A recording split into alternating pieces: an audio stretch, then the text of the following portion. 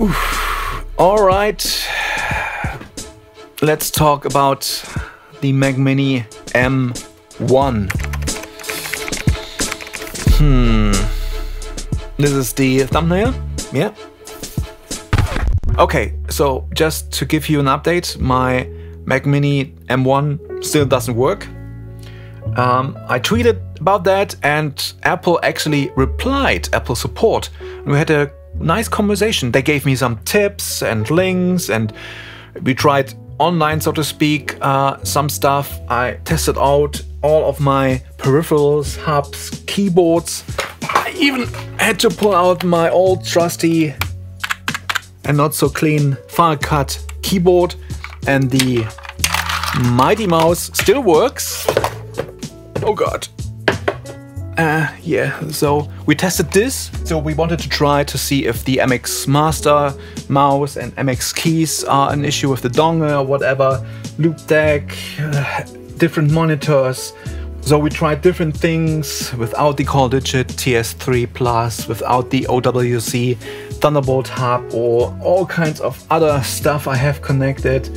Um, at one point I thought the DisplayLink driver to have three screens going was the issue. No, it was not. And basically the system crashes when the GPU gets a little bit too much to do or whatever.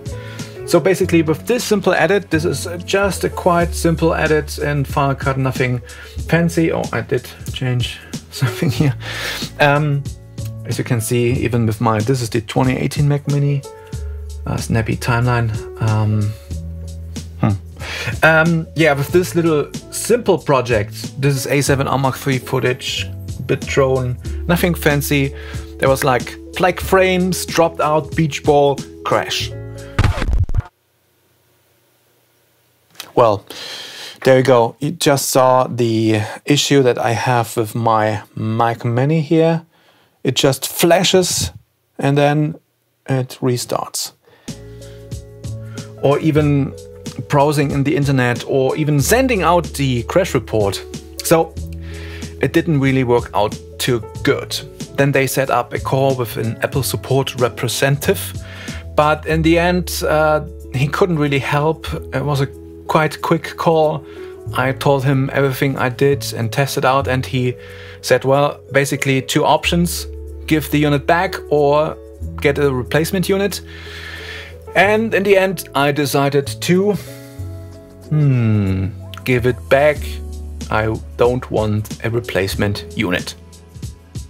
Here's why. A few reasons. Few little things, but one big one. Even though it is a small one, but it, it is a big one. So, first of all, connectivity. Yes, uh, you can get away with the TS3 Plus and the OWC hub.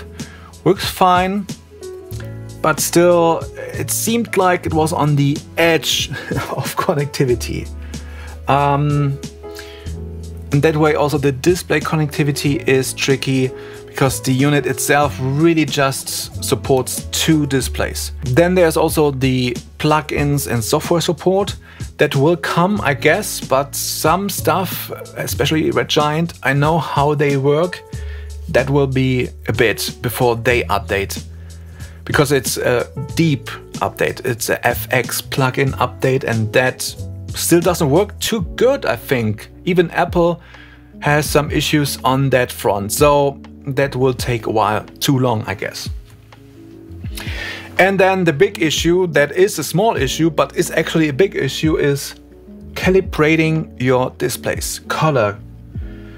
Um, I think how this works with the DisplayLink and USB dongle and stuff like that, that will be a challenge for the hardware and software solutions to actually communicate with the displays and the system and calibrate it on a professional level, so to speak. And this is the biggest issue, and that's why I decided to send it back and work with my 2018 Mac Mini with the eGPU. So I did manage to get two tests going. Uh, there's a trick actually, I have a separate video about that here.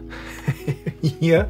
Um, how you can run Final Cut in Rosetta mode. There's no official way, there's no uh, checkmark like with Logic. You have to use a terminal code, so to speak, to open up Final Cut and it doesn't run too stable. But I managed to do two tests with the same plugins going as on the old Mac. That was the essential key to test this out. So there was the 4K to 1080 mixed media project that I tested and on the Mac Mini with the eGPU with the RX 5500 it was like 7 minutes 11 seconds export time with the Radeon 7 actually was 7 minutes 19 so a bit slower tiny bit and with the Mac Mini here I was able to do it in 4 minutes and 32 so quite a bit faster I'd say I was surprised by that and then there was the other project. This is the quick A7S Mark III edit with a little bit of color corrections, nothing fancy. And the eGPU Mac Mini with the RX 5500 was 1 minute and 35. And the Radeon 7 was 1 minute and 32. This was a 4K project and a 4K export.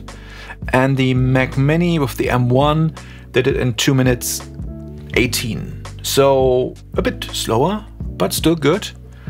And the older Mac Mini without the eGPU did it in 4 minutes 20 seconds. So, all right. So that I did get to test out. So there is potential there, I think, this is a nice, snappy little unit. It is silent. It was almost too silent in my edit room with this thing without the eGPU going and the Mac Mini fan of the older 2018 Mac Mini. But yeah, it's not ready for prime time yet. So for now, I'm sending this back and wait for the next chapter, so to speak. But right now, I'm still happy with the performance with the 2018 Mac Mini and the eGPU.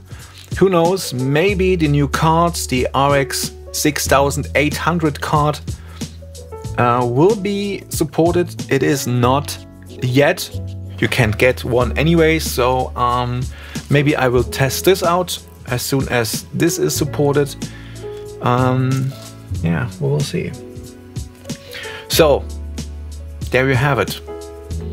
This is the last video about the Mac Mini M1, I guess, from my page, but there will be more Final Cut 10 content um, about presets. And also I want to make a updated video about the Final Cut to Logic and back workflow because I guess it's uh, a little bit long in the tooth my video about that it's quite old six years okay um, yeah, so looking forward to that, I guess.